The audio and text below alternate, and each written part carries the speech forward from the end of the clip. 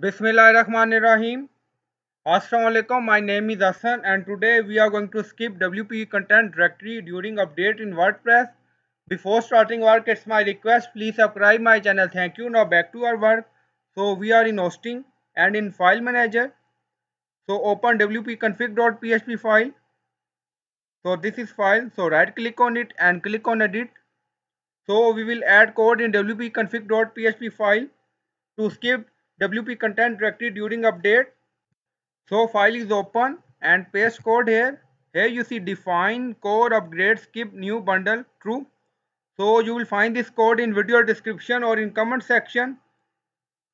Then click on save file. So file is saved and you will find this code in video description. I hope you like this video. Please like, comment, share, subscribe. Thank you for watching.